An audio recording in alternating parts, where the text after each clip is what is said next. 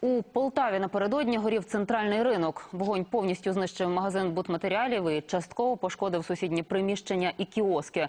Очевидці кажуть, що спочатку тут зайнялася купа макулатури позаду торгових точок.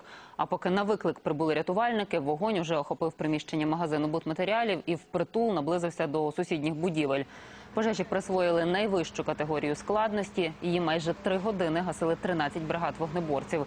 Усі обставини займання і розміри збитків зараз з'ясовують експерти.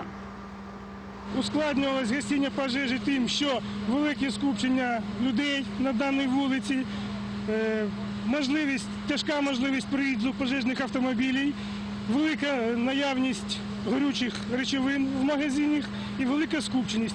Перешкоджання до підходу до самих магазинів це виносні вітрини.